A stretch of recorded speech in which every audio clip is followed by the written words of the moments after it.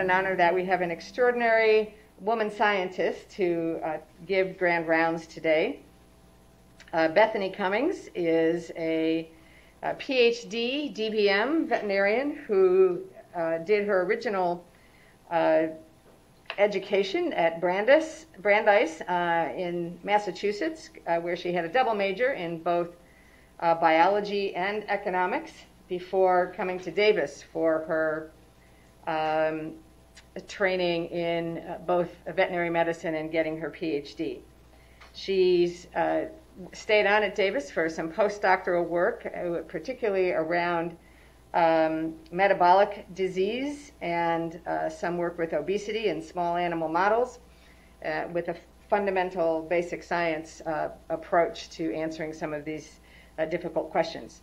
She then, she's most recently been at Cornell, is another outstanding veterinary school, and we are uh, thrilled to have her today uh, come present to us about some of the mechanistic drivers of the metabolic benefits of bariatric surgery. So, Dr. Cummings, thank you for coming. Really an honor to have you in these crazy times. Yeah, right. thank you. All right, let's see. Sorry, I'm just getting a little adjusted. Uh, thank you so much for the introduction, and thank you for having me here today. I'm uh, excited to talk to you all about my research. Um, and am you know very appreciative for this opportunity, especially during these uh, unusual times. Uh, let's see. Sorry. Sorry, I'm not sure what I just did.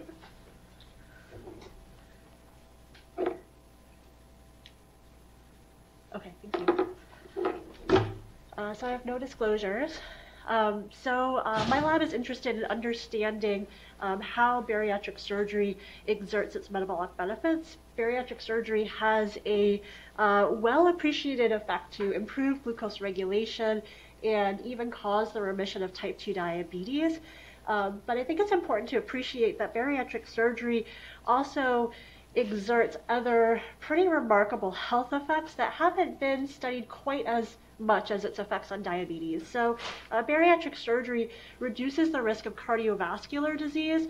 For example, it causes uh, a reduced risk of cardiovascular disease um, and reductions in blood pressure, and can even cause the remission of hypertension.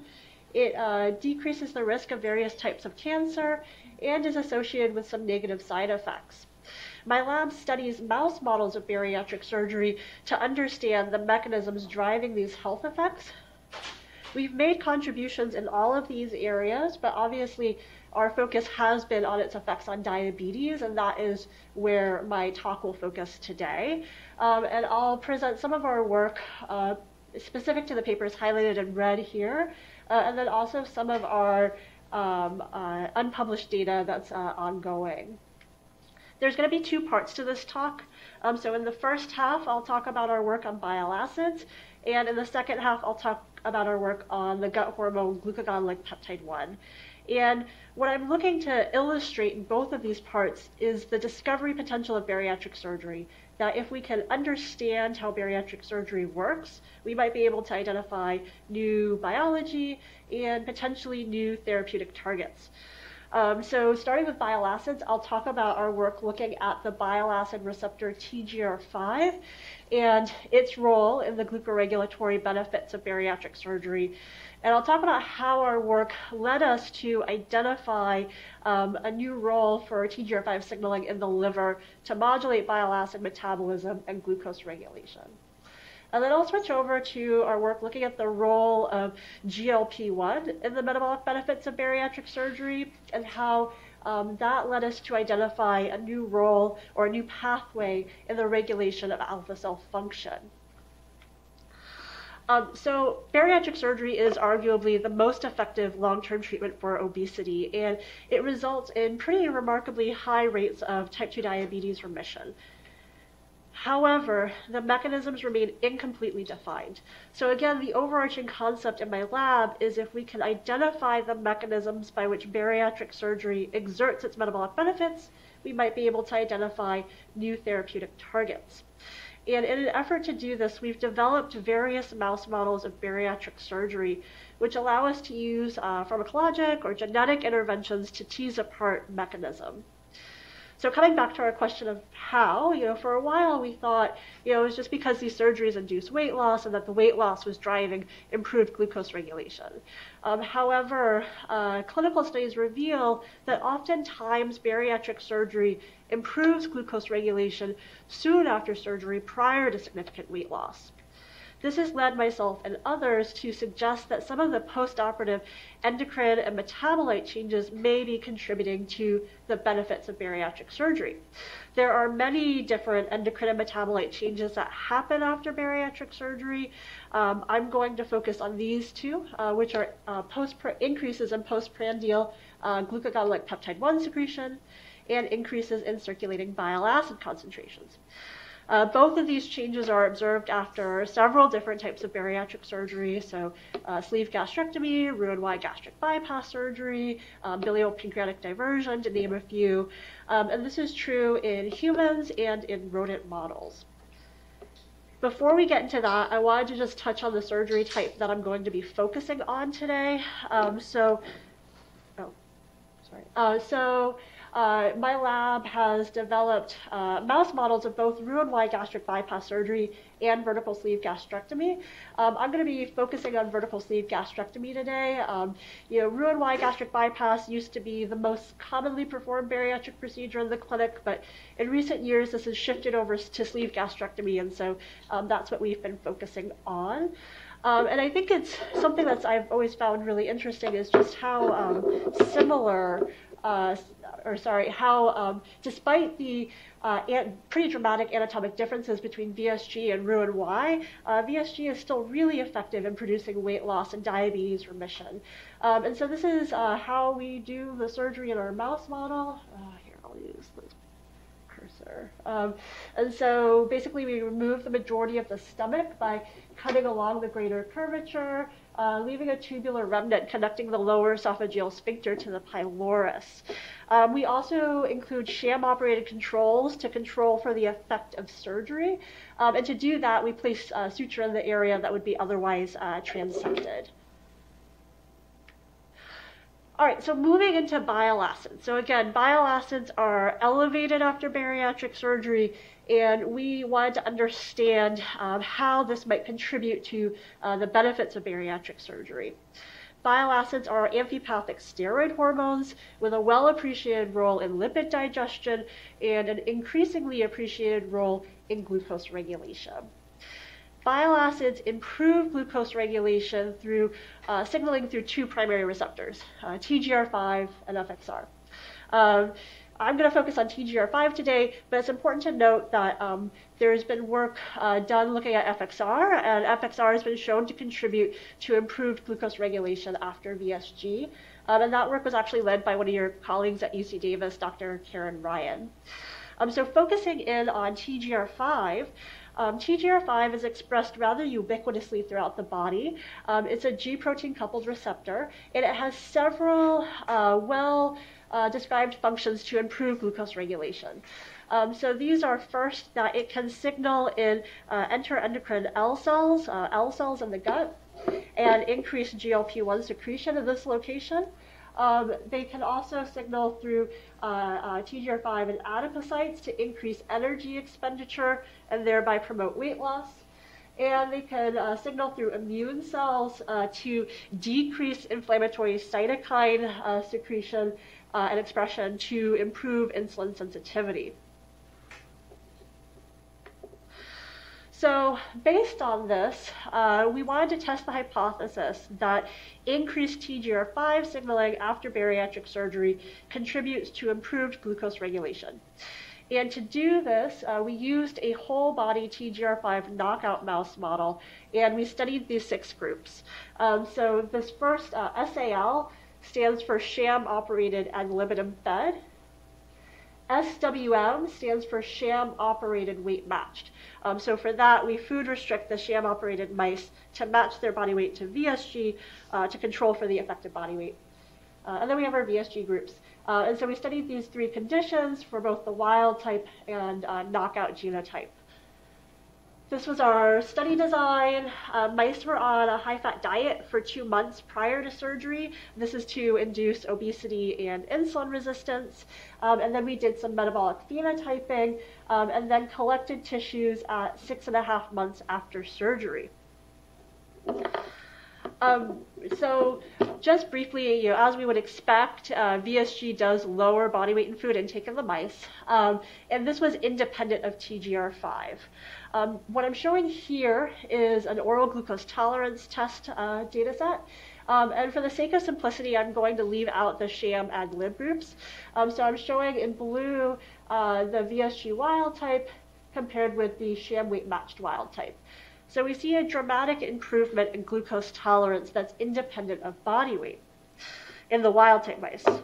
Um, we uh, lose this effect in the knockout mice, and I think this is uh, most well illustrated uh, looking at the area under the curve here. Uh, so we find that the area under the curve is reduced in VSG wild type uh, compared with sham, and this effect is lost in the knockouts. So this demonstrates that TGR5 does contribute to the effect of VSG to improve glucose regulation. Um, and so I told you a couple slides back that TGR5 does things like increase GLP-1 secretion and increase energy expenditure, uh, which are things that VSG also does. Um, so we were expecting to find uh, a role for TGR5 in these effects of VSG. Um, however, we did not. Um, and, you know, it's important to recognize that this was a whole body TGR5 knockout. And so um, this kind of approach does come with uh, some caveats. Um, so there can be issues with uh, uh, confounding due to compensatory upregulation of other pathways. Um, so it's possible that TGR5 contributes to these effects of VSG to increase GLP-1 and to increase energy expenditure. Um, but it was kind of a blessing in disguise because this pushed us to dig deeper and identify um, some new things. So what we did next was we looked at uh, circulating bile acid profiles. Uh, first, uh, we did see that VSG increases uh, total bile acid concentration in the circulation uh, in both VSG wild type and knockout mice. Um, and so there's uh, a lot of different types of bile acids, and they vary quite a bit in terms of their effect on health. Um, and this can be summarized by looking at various indices of the bile acid profile. Um, so this first one I'm showing you here is the hydrophobicity index. And what this refers to is uh, hydrophobic bile acids promote inflammation and impair insulin sensitivity. Uh, hydrophilic bile acids do the opposite. Hydrophilic bile acids decrease inflammation and promote insulin sensitivity. Uh, consistent with this, we see that VSG lowers bile acid profile hydrophobicity, and this is largely blunted in the knockout mice. Um, and so then the other one here is the 12 alpha hydroxylated to non-12 alpha hydroxylated bile acid ratio. It's influenced by similar things as uh, this hydrophobicity index, and increases in this ratio are associated with insulin resistance and diabetes in people. So consistent with that, we find that VSG lowers this ratio uh, compared with sham, and this is lost in the knockout. Um, so overall, these data uh, suggest that VSG improves bile acid profile, um, and that this is at least in part dependent on TGR5. Um, so we were very excited by this finding because uh, it reveals an important role for TGR5 in bile acid metabolism, and so we wanted to understand um, this better bile acid metabolism happens in two uh, key compartments. It happens in the liver and it happens in uh, the gut microbiome. Um, we're interested in both. I'm going to focus on the liver right now and then we'll uh, shift into the gut microbiome. So, in the liver, the way this works is um, hepatocytes make primary bile acids. Um, they're derived from cholesterol. Um, and there's a lot of enzymes involved. I'm just going to highlight two. Um, so the first is CYP7A1. which is the rate limiting enzyme in bile acid synthesis. The other one is CYP8B1, which is essentially the molecular switch that determines bile acid profile. So if you have CYP8B1, you'll make cholic acid, which is a 12 alpha hydroxylated bile acid. And if you don't have CYP8B1, you'll make chenodeoxycholic acid, which is a non 12 alpha hydroxylated bile acid. So we did some Western blotting and found that VSG lowers CYP8B1, and that effect was dependent on uh, TGR5. We found no effect on CYP7A1. Um, and so this was cool because it matched perfectly with our bile acid profiling data. If uh, you decrease CYP8B1, you'll decrease 12 alpha hydroxylated bile acids to decrease this ratio. Um, and so basically, this revealed a novel effect of TGR5 to selectively regulate CYP8B1 expression. And we were excited about this because CYP8B1 is an attractive target for diabetes treatment, and it's been difficult to target because it's typically co regulated with CYP7A1 um, which is not ideal. You don't want to block CYP7A1 because you're going to block cholesterol metabolism and get a buildup of hepatic cholesterol. Um, and so since publishing this work, we've been focusing on um, how does TGR5 regulate bile acid metabolism and what is the role of liver TGR5 signaling in metabolic regulation. Um, and so before we get into that, uh, I just wanted to summarize um, our findings in this uh, previous study. So the main take homes are that uh, we do not find a role for TGR5 in the effect of VSG to lower body weight or food intake, or its effect to increase energy expenditure or GLP-1 secretion. Nevertheless, we find that TGR5 does contribute to improved glucose regulation after VSG, and this appears to be due to an improvement in bile acid profile. Um, and this improvement in bile acid profile is driven by a reduction in hepatic CYP8B1. And this is a cartoon just uh, summarizing our findings. So again, what we see is that VSG increases circulating bile acid levels to increase TGR5 signaling, which decreases hepatic CYP8B1 to improve bile acid profile um, and decrease inflammation to improve glucose regulation. Um, and we did assess inflammation, I just uh, didn't get into it today. Anyway, so uh, we were excited by these data and moving forward, wanted to better understand the role of TGR5 in the liver. Um, and so we focused in on the hepatocyte because hepatocytes are where bile acids are synthesized. Uh, we wanted to first see if uh, TGR5 is expressed in the hepatocyte. Um, so we did some IHC on liver sections. Um, so this is liver from TGR5 wild type mice and then liver from TGR5 knockout. Uh, TGR5 is in green, and we co-stained with albumin in red uh, as a marker of hepatocytes. Uh, and so we do find TGR5 is expressed in uh, hepatocytes, in wild type uh, liver, and this is lost in knockout, um, so showing antibody specificity. Uh, we also tested out our antibody on adipose tissue, which is a more uh, well-characterized tissue to express TGR5. And uh, similarly, we see TGR5 in green here uh, expressed in wild-type adipose, but not in the knockout. Um, so with that data in hand, we moved into uh, working with a hepatocyte-specific TGR5 knockout mouse model uh, that we received from Dr. Kristina Schoonjans. Um, and so we did an acute pharmacologic study. Uh, we fed mice, again, a high fat diet for two months, um, and then intervened with a really uh, specific and potent TGR5 agonist called Compound 18. Uh, we dosed mice for three days and then did a glucose tolerance test. And so what we found was um, these lines are showing you the wild type groups. I'll put it over here. Um, so the solid line is the uh, saline treated wild type mice, and then the dot, dashed line in blue is the compound 18 treated mice. Um, and you can see that uh, this TGR5 agonist does improve glucose regulation in the wild type groups. Uh, and then we found that this was lost in the knockout groups that are shown here in red.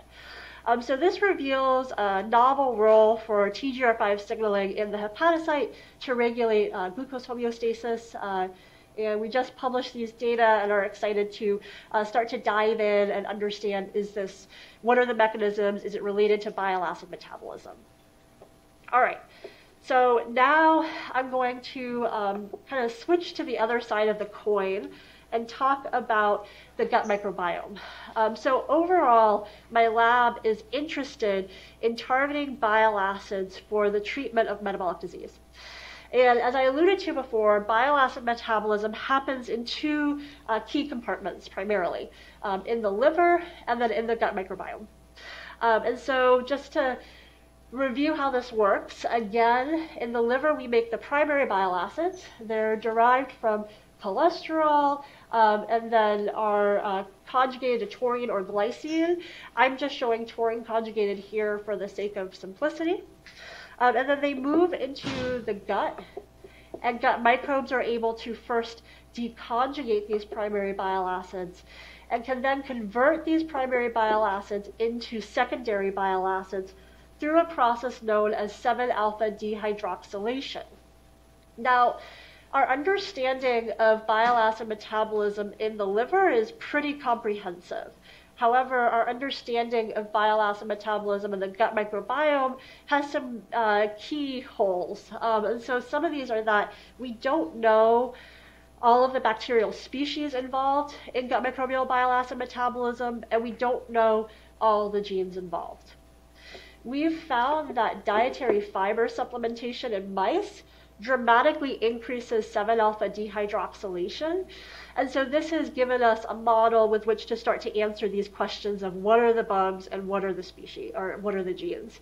Um, and actually, instead of diving into that, I'm going to sort of jump ahead and talk about clinical application um, and talk about the question of, you know, if we change gut microbial bile acid metabolism, does this uh, improve glucose regulation in humans?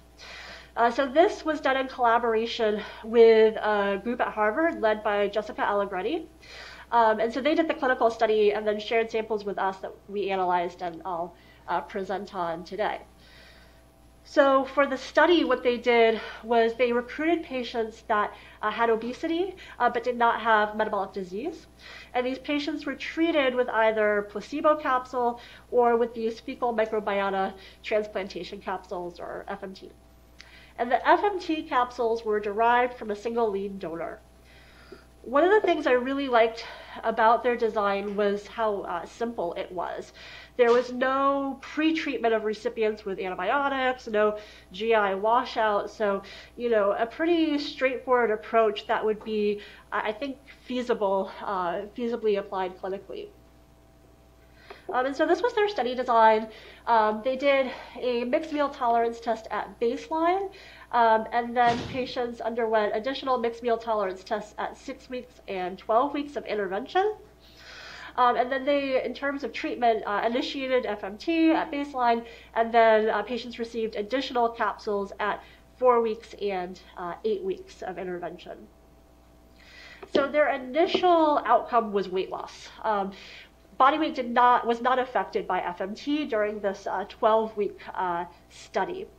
Nevertheless, they did find that um, the FMT treatment shifted uh, the gut microbiome to match that of the lead donor.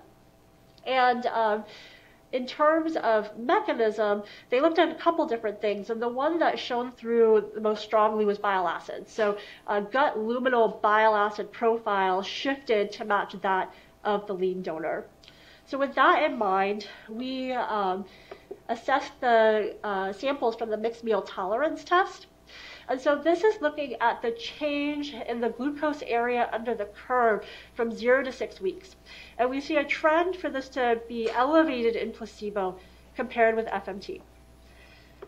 This reaches significance uh, when we look at the change from zero to 12 weeks. Um, similarly, we looked at the insulin area under the curve, and we found that uh, the insulin area under the curve was higher in placebo compared with FMT if we looked at the change from 0 to 6 weeks. Uh, this trend was still present at 0 to 12 weeks but did not reach significance. Um, so overall, these data suggest that FMT might be able to delay the development of metabolic disease in patients with obesity. Um, and these are not, you know, incredibly dramatic data, uh, but I still find them exciting because uh, it was such an untargeted approach. Um, so to me, this suggests, I don't know, hope that if we could refine our FMT approach and make a more targeted approach, we could um, improve efficacy. So what we're working on now is again to answer those questions of what are the genes and what are the species, and can we modify or redesign an FMT to target gut microbial bile acid metabolism and um, achieve better efficacy. Um, and so with that, I'm going to switch over to um, our islet GLP-1 work, but I am happy to pause and take any questions on this first part. Okay, I'll just keep going. Um, all right, so um, the other part of this presentation will focus on the role of GLP-1 in the metabolic benefits of bariatric surgery. GLP-1 is an incretin hormone, which means it potentiates glucose-stimulated insulin secretion from beta cells. And I'm going to present to you the classic model by which we think this works, and then some of the issues with this model. Um, so classically, the way we think this works is you eat a meal, and that stimulates your L cells to secrete GLP-1. It travels in the blood, to the beta cell GLP-1 receptor, where it enhances glucose-stimulated insulin secretion from beta cells to decrease blood glucose levels. And so this is how we've thought it works for a long time. Um, but in recent years, we, as a, I guess, diabetes research community, have started to question this model for a couple of reasons. So one is that active GLP-1 levels are never really that high in the circulation. And this is because active GLP-1 is rapidly degraded by the enzyme DPP-4, rendering it to have a half-life of less than two minutes. Um, so as I go through my slides, I'll show you some of our data and how this has led us to propose a uh, somewhat revised model of how GLP-1 exerts its incretin effect, at least in the context of bariatric surgery. Um, and so VSG increases GLP-1 secretion. Uh, I'm going to show you some of our data from our mouse model. Um, this is, again, an oral glucose tolerance test. Uh, in blue, we have VSG, and in red, we've got the sham group. Um, this sham group has been uh, food restricted to match body weight to VSG. Um, so all the effects I'm showing here are, again, independent of body weight. Um, so we find that VSG uh, improves glucose tolerance, and it dramatically increases glucose-stimulated insulin secretion and increases nutrient-stimulated GLP-1 secretion. Um, and these curves are similar to what you would see in humans. Um, and so since GLP-1 is an incretin hormone, we wanted to test the hypothesis that this increase in GLP-1 was driving the increase in insulin secretion to improve glucose tolerance. Um, and so to test this hypothesis, we used a tamoxifen-inducible beta cell specific GLP-1 receptor knockout mouse model. I know that's a mouthful, but it's important. uh, and it's important for reasons that I kind of alluded to um, when I was talking about TGR5. So with these whole body knockouts, again, you can have issues with compensation. Um, and so it's nice to have an inducible model because this helps mitigate the risk of confounding due to compensation. Um, so, uh, and then obviously looking at a beta cell specific uh, uh, model helps us hone in on uh, a specific cell type. Uh, so we studied the following four groups, so sham versus VSG, wild type versus knockout. Uh, mice again are on a high fat diet for two months prior to surgery. two weeks prior to surgery, we switched them over to a diet with tamoxifen. this induces the knockdown of the beta cell GLP-1 receptor. Um, and all mice go on this tamoxifen supplemented diet and are maintained on it um, throughout study to ensure continued knockout of the beta cell GLP-1 receptor. Um, and we did some metabolic phenotyping and then collected uh, samples at six weeks after surgery. Um, and so uh, we did a couple different things. So here I'm showing uh, we measured uh, fasting plasma glucose and insulin concentrations to assess the QUICKI index of insulin sensitivity. And we found that this was improved in VSG wild type compared with sham, and that effect was lost in the knockouts. We found a similar effect during an oral glucose tolerance test. Again, glucose tolerance was improved in VSG wild type, and this effect was lost in the knockout. Similarly, we found that VSG increased insulin secretion during an oral glucose tolerance compared with sham in the wild type condition, but this was lost in the knockout. So these data together demonstrate that the beta cell GLP-1 receptor contributes to improved glucose regulation and improved islet function after VSG. We were particularly interested in this effect on islet function and wanted to better understand how does bariatric surgery and beta cell GLP-1 receptor signaling, um, how do these improve islet function? Before I get into that, I want to first uh, visit uh, the, the role of the alpha cell in diabetes. So the pancreatic alpha cell produces glucagon. And glucagon is overproduced in diabetes, and this has been shown to play an important role in diabetes pathogenesis.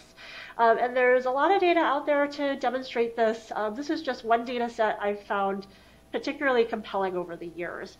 So this is looking at human patients with type 1 diabetes, um, and we're looking at their glycemic regulation under three different conditions. So in the first condition, we're looking at a low dose of insulin. Um, so their glucagon levels are inappropriately elevated and they remain hyperglycemic.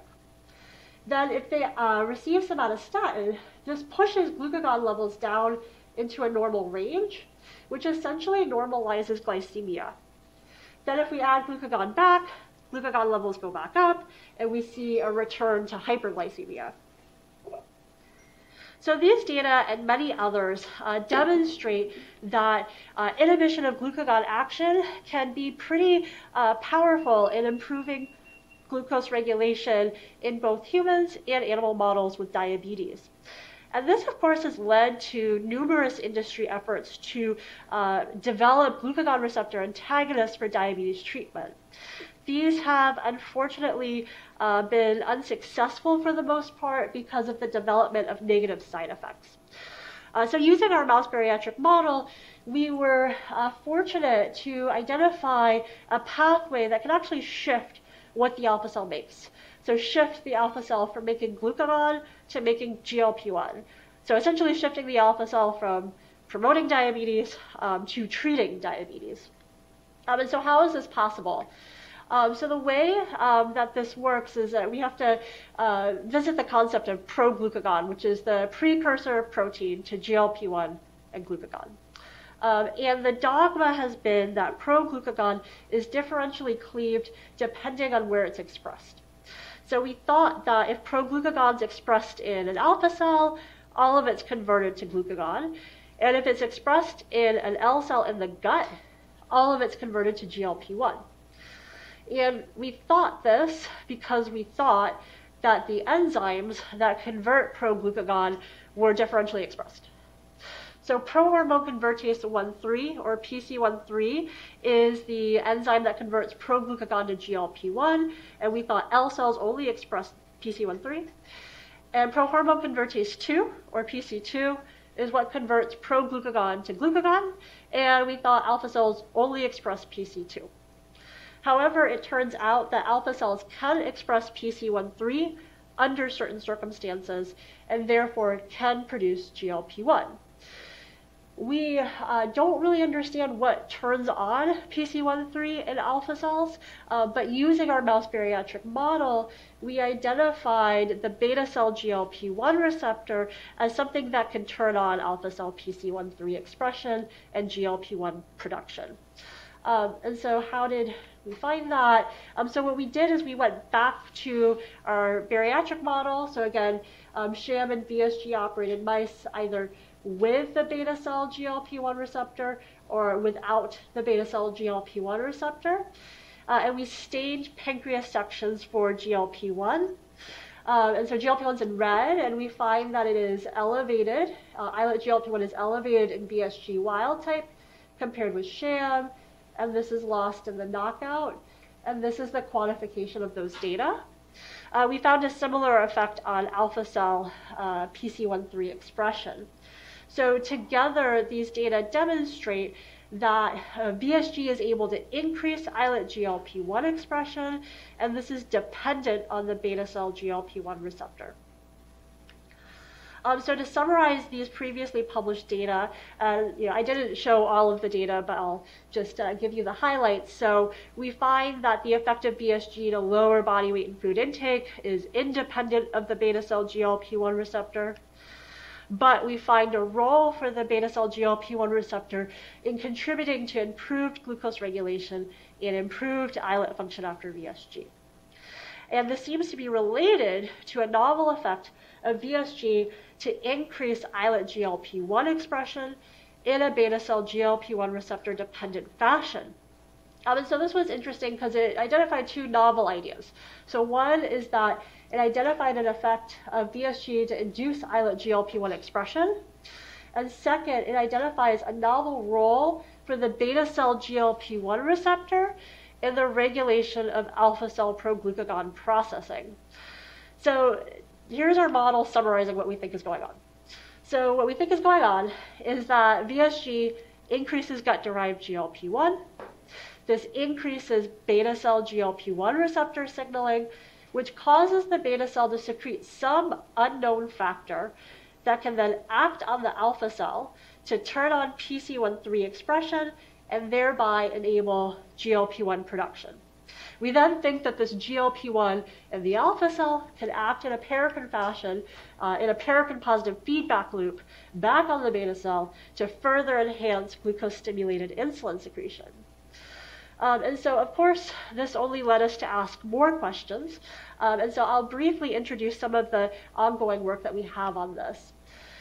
So first, we wanted to ask whether, is this model specific to bariatric surgery, or can a GLP-1 receptor agonist induce uh, a similar effect? Is this translationally relevant in humans? And what are the mechanisms? Or really more specifically, what's this question mark, um, and can we target it for diabetes treatment? Um, so starting with the first question, uh, we went back to our beta cell specific GLP-1 receptor knockout mouse model, and we treated mice either with saline, which is our control, or the GLP-1 receptor agonist liraglutide um, in wild type and knockout mice. Again, we used a study design similar to our bariatric study. Uh, so mice are on a high-fat diet for two months. Two weeks prior to intervention, they go on to tamoxifen, again to induce GLP-1 receptor knockout. And then they received either uh, liraglutide or saline injections twice daily for two weeks, and then we collected tissues. Um, and so this is the GLP-1 staining on pancreas sections. Um, and so we find that liraglutide induces islet GLP-1 expression compared with control in the wild type condition, but not in the knockout. And that's the quantification there. Uh, and we found a similar effect uh, on alpha cell PC13 expression. So these data show that uh, a GLP-1 receptor agonist can produce similar effects to uh, what we see after VSG, that um, a GLP-1 receptor agonist can turn on alpha cell GLP-1, and this is dependent on the beta cell GLP-1 receptor. And so this was great because basically this allowed us to then do some translational work. So obviously this question of translation is always important. Uh, it's very important in islet biology because uh, islets are very different between mice and humans, uh, which is illustrated in the uh, IHC images. So this is a mouse islet, this is a human islet, um, insulin's in red and glucagon is in green. And so you can see in the mouse, uh, there's the beta cells form the core of the islet, and you've got alpha cells on the periphery. In the human, you've got proportionally more alpha cells, and they're more intermixed with one another. So in order to answer this question of translation, uh, we turned to a single cell RNA sequencing approach because this allowed us to take into account the heterogeneity that can exist uh, within alpha cells and beta cells. And so uh, we used this DART-seq platform, which was developed by our collaborators at Cornell. Um, so single-cell RNA sequencing has been, you know, revolutionary uh, in biology. Uh, but like all new technologies, it's not without its limitations. And one of these is that they can have low sensitivity for lowly expressed transcripts. And we wanted to look at a lowly expressed transcript, which is uh, PCSK1. That's the transcript that encodes PC13, which is the enzyme you need to make GLP-1. Um, so we were particularly worried about this uh, sensitivity issue. Um, and so this is why we use this DART-seq platform because it directly addresses sensitivity. Um, and so what it is, is a modification of uh, the original DropSeq platform. So in DropSeq, you use this bead-based approach um, where you use these beads that have uh, universal probes that will attach to any poly-A-tailed mRNA transcript. In DART-seq, what you do is you replace uh, some of these universal probes with probes that are specific for your transcript of interest. Um, and so uh, what we did was we first uh, applied DART-seq to the study of human islets and validated its use, validated that it improves sensitivity, um, and it does. And then uh, we dug into figuring out uh, what's the effect of a GLP-1 receptor agonist on alpha cell PCSK1. Um, and so to do this, we developed DART-seq beads that had probes for our target of interest, PCSK1, um, and also probes for the transcripts that encode glucagon and insulin. We received islets from uh, human cadaveric donors that were non-diabetic, and we treated islets with either saline or liraglutide, uh, and then performed DART-seq. All right, and so then this is a UMAP of that data. Um, and so just to orient us, uh, the way I'm presenting this is that uh, we've got the control uh, islets here, and then the liraglutide treated islets here. Um, this data represents an, an N of three. Uh, so we did this on uh, islets isolated from three different individuals. Um, and what the UMAP is showing you is um, each dot represents a cell. And these cells are clustered based on how similar or different their transcriptomes are. Um, and so as you can see, uh, we, we saw quite a bit of heterogeneity in the alpha cell and beta cell populations. So we saw four different alpha cell populations and five different beta cell populations. So before even trying to know what liraglutide was doing, we wanted to just understand what was driving this heterogeneity. And so to do that, uh, we did a couple of things, uh, but what I'm going to hone in on is uh, this pseudo-time analysis, which I'm sorry if this is scary, but I'll walk you through it. Um, it's fine um, and kind of exciting. And so what this is, is it's looking at these four transcripts um, and their expression across these different cell clusters. Um, and so what we have on the left here is alpha 4, and then we drop down to alpha 1, and then switch over to beta 1, up to beta 4 and 5. And so the first two that we're looking at are ARX and DNMT1. They are markers of mature alpha cells. And they are most highly expressed in the alpha 4s and decrease down to the alpha 1s, and then continue to decrease across the beta cells. Um, and so this suggests that our alpha 4s are our most mature alpha cells, and that the alpha 1 population is our least mature cell population. We also looked at MAF-A and PDX1. These are uh, markers of mature beta cells, and they are low in the alpha cell populations and then increase across the beta cell populations. So suggesting that the beta 1 population is our most immature beta cell population. Um, so together, these data suggest that the heterogeneity that we're seeing uh, is actually driven by uh, markers of cell identity and maturity. So then the next thing we wanted to see was, you know, what is the effect of liraglutide on differential gene expression? Um, and so we honed in on this alpha 1 population because we found that liraglutide did induce a 1.6 log fold increase in PCSK1 uh, in the alpha 1 population. Uh, so basically showing that our findings in mice do appear to have translational relevance in this uh, subset of alpha cells. Now, um, PCSK1 is a beta cell gene. You need PCSK1 to make uh, to process proinsulin. And gene expression regulation rarely happens in isolation.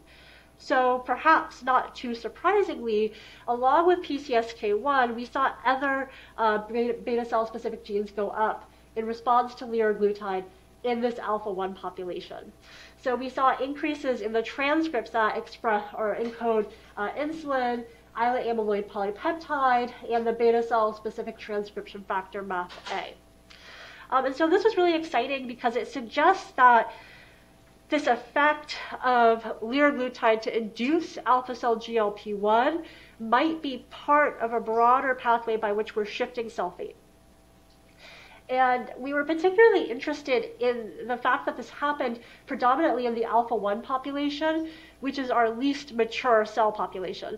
Um, and so this is speculative at this point, but it suggests that maybe this immature cell population is more malleable to uh, changes. Um, so we then, of course, did some IHC to validate these findings. Um, this is, again, in human islets uh, from human cadaveric donors that were not diabetic uh, islets were treated with liraglutide or saline.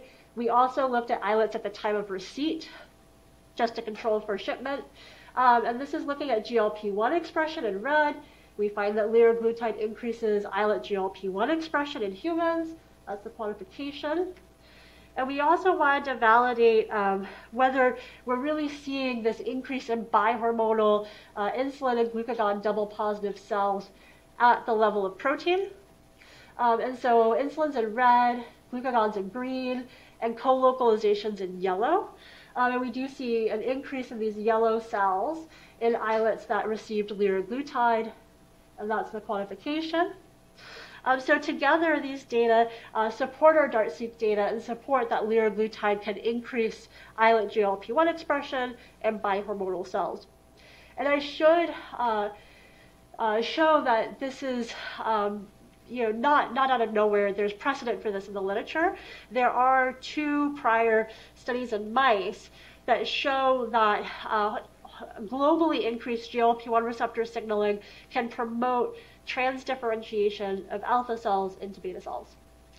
Um, so the last piece of data, um, so we were then interested in going back to our mouse model to see if this is really uh, due to the beta cell GLP-1 receptor um, the beta cells are the predominant cell type to express the GLP-1 receptor in the islet, uh, but other endocrine cell types can express it as well.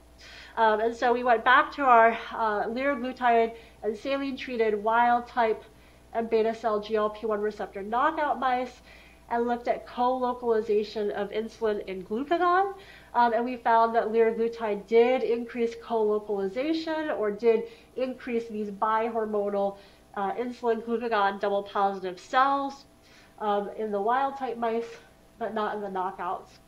So this data shows that the effect of liraglutide to increase bihormonal cells is dependent on the beta cell GLP-1 receptor.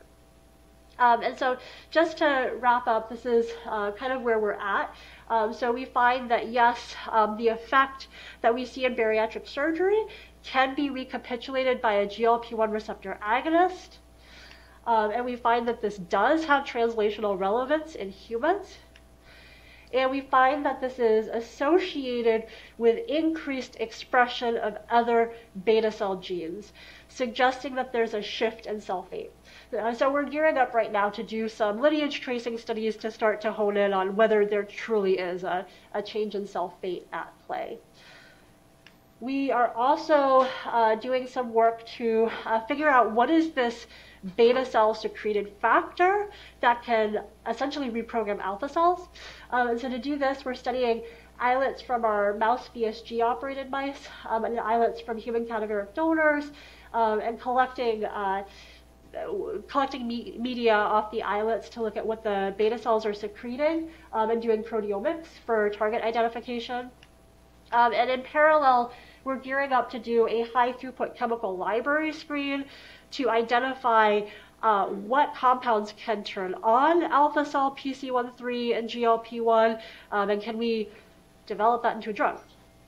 Um, and so with that, I will uh, wrap up and thank the many uh, people who uh, have helped with this work. Um, there are many, uh, so Dr. Charles Danko uh, has been hugely helpful in the genomics work I presented. Uh, our collaborators at Eli Lilly have been helpful throughout. Dr. Kyle Sloop in particular is the one who developed the beta cell GLP-1 receptor knockout mouse that we've been working with. Uh, and then, of course, I am very fortunate to have uh, an amazing group of people to work with in my lab. Um, and so, uh, just to run through who did what, uh, starting at the top, um, the uh, TGR5 work was led by my former graduate student, Dr. Darlene Garibay, and former postdoc, Dr. Anne McGavigan. Um, the more recent TGR5 work has been completed by Marlena Holter, a DVM PhD student in the lab, and Margot Chirichian, a really talented undergraduate student in the lab. And then the published GLP-1 work uh, was done again by Dr. Darlene Garibay and a very talented vet student, Dr. John Liu. And the ongoing GLP-1 work, um, the mouse part is being done by Marlena Holter, and then the genomics has been led by Dr. Mirdu Sakai, a research associate in the lab. Um, and then we're grateful to our funders, um, and of course grateful to uh, the human islet donors and their families. Um, and with that, I will take questions.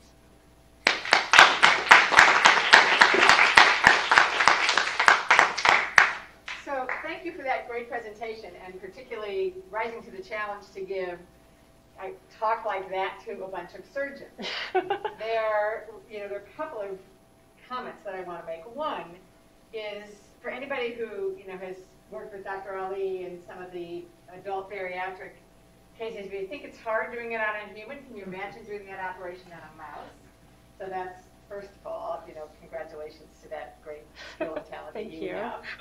Um, secondly, it's just a reminder of what a complex organism we are, and all of the perturbations that we create when we do an operation that has ramifications in this amazing cascade of molecular biology that occurs subsequently. And even though you do sham versus operated uh, operations, you know, we've just seen a difference in the way human beings recover from big operations and minimally invasive operations. And there's there's an underlying biology that needs to be figured out there as well. Yeah. I also um, just want to congratulate and, and think more on really trying to understand why bariatric surgery seems to work. Yeah. I've got to admit, I was a non-believer, Muhammad, no offense. And when this first came out, I thought, you know, this is nonsense. It's just they lost weight. And so all those good effects of losing weight, you know, accrue to uh, patients of bariatric surgery. But you and many others have shown that, in fact, there's something else that happens early. So it does make you wonder when we take out, you know, what part of the stomach, or why does a, you know, why does a, uh, the sleeve gastrectomy work seem to work similarly well? And you've got Yeah. models that can answer these questions. Yep. So there are a lot, a lot more questions that can come on this. Yeah. Let me uh, turn it over to Dr. Greenhalgh. Very nice work. Um, so my question is the proximal signaling from the stomach. Mhm. And is there a volume of stomach that is the minimal amount that causes the signaling? Because can you just take a tiny chunk, or can we take a little wedge out? Um, or is, what's that? Or which wedge? Yeah. Yeah, or which wedge? Because that's the key question. Because it's Yeah. interesting that you know you can do a sleeve gastrectomy, but you know people can do a total gastrectomy and look at the same kind of findings. But so, can you just make an incision in the stomach and close it? Does that have short-term effects? I mean, so there must be some kind of volume or what the signal from proximally might be. I guess that's one of my questions. Yeah, one of mine too. So, um, but I'll tell you. So, so that's a study that we've been wanting to do for a while, we have not done in house. Um, I do believe that there are some uh, preclinical modeling studies done uh, looking at that question, and they do see kind of what you would expect if you uh, make a less restrictive sleeve, you have less less efficacy on weight loss, but you still see a lot of the same effects. And I think that goes back to kind of this idea of like, that's why I show Roux Y and uh, VSG right next to each other. Obviously, you know, they there are differences in their efficacy, but to me, like the differences in the surgery types are just they're wildly different and they still are producing all the same effects on hormones and are still both very potently effective. So it, I have not looked into this, but something I've always wanted to go after is, you know, it's there's got to be more to the, the neurobiology related to this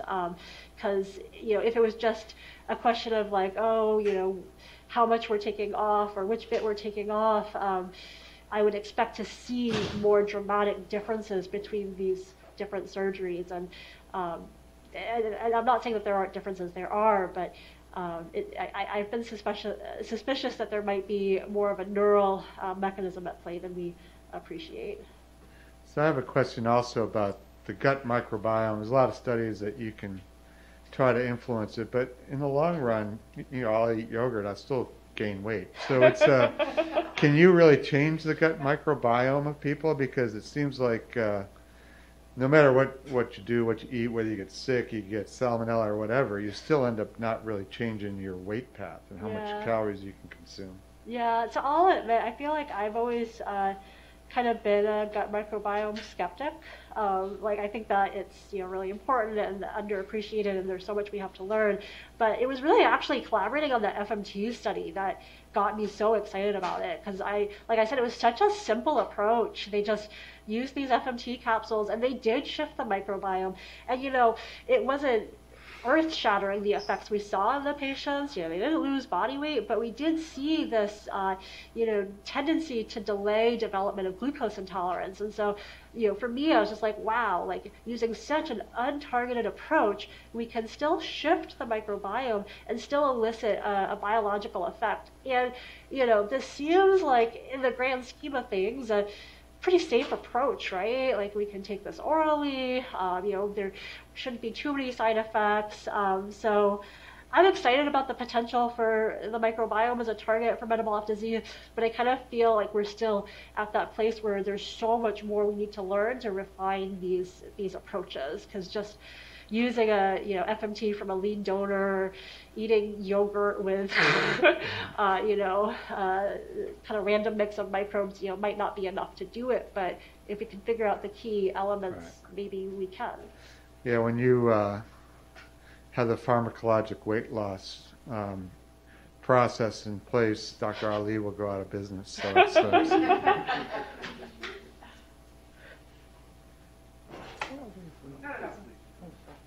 Okay.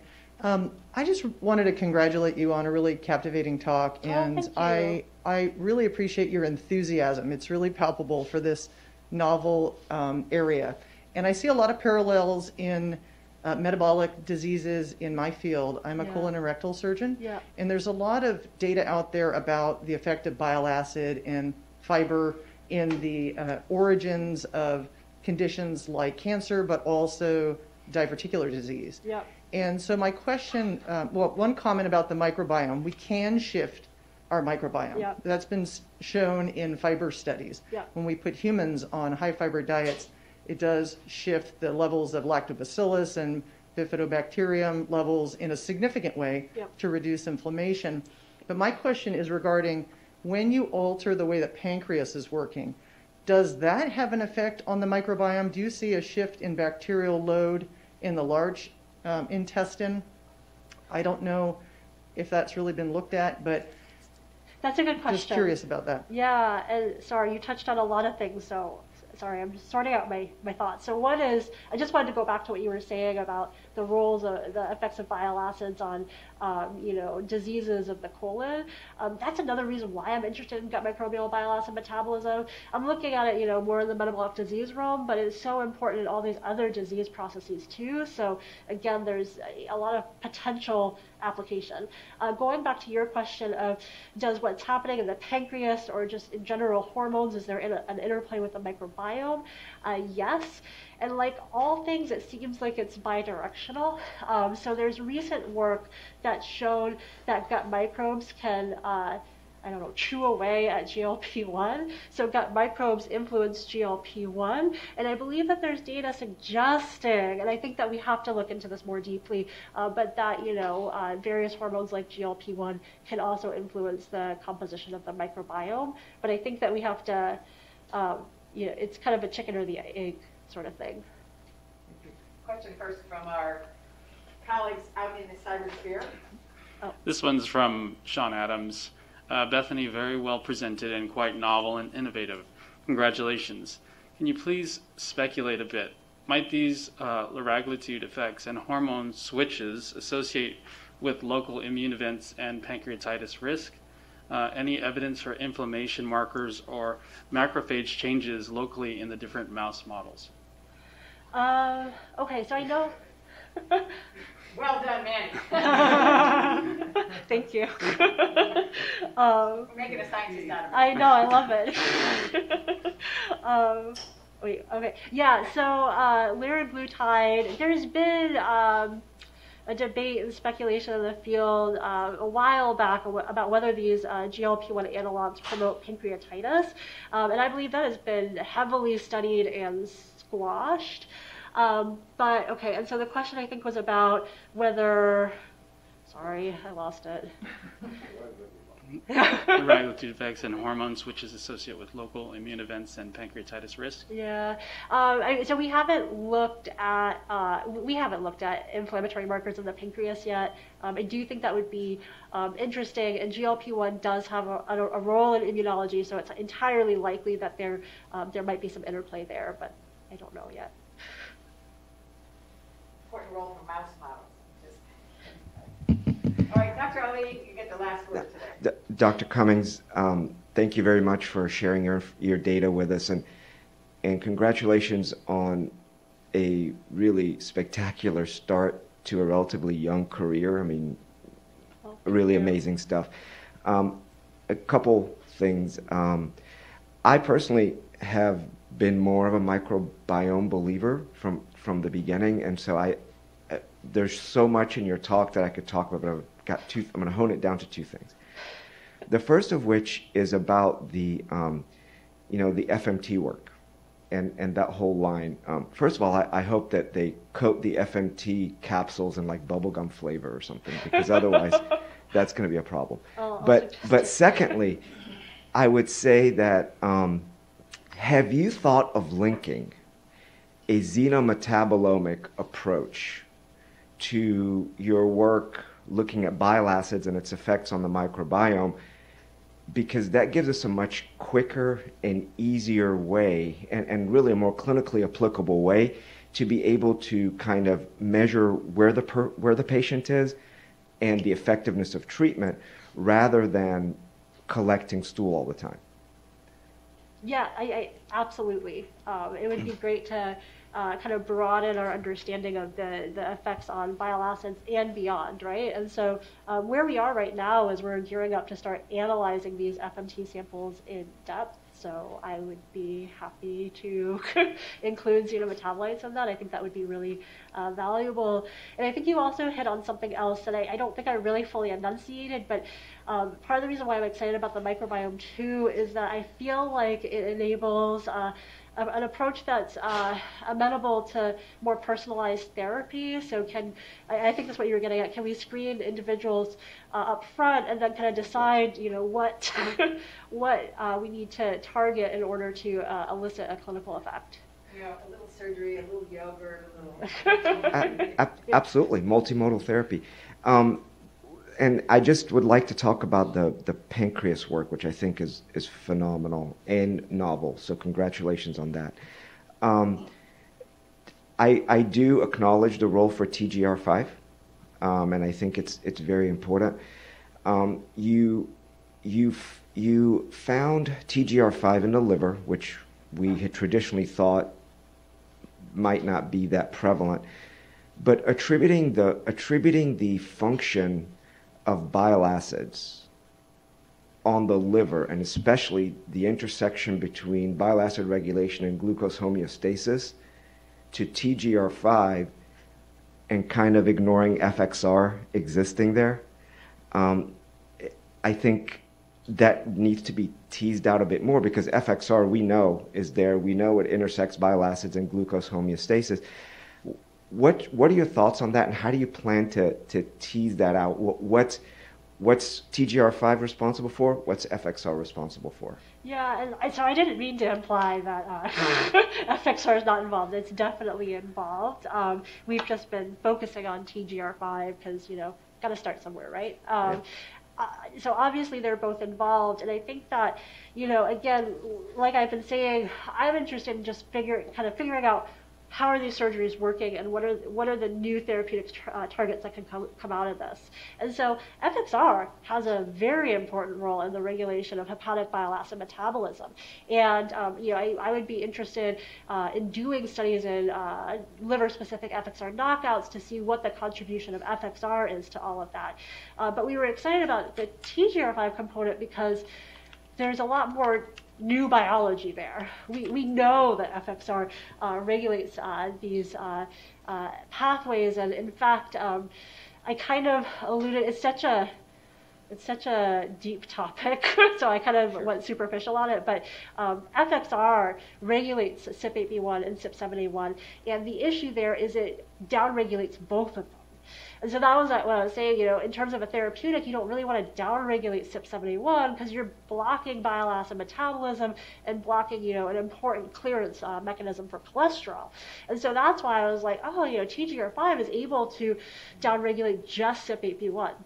Now, I don't think TGR5 is a good therapeutic target. It, you know, there have been agonists made and they have off-target effects because TGR5 has an important role in uh, the biliary system, and so these agonists cause gallbladder filling and uh, cholelithiasis. So um, what we're interested in doing on the TGR5 side of things is figuring out, you know, what's the downstream mediator by which TGR5 regulates CYP8B1, and could that be a, a viable target?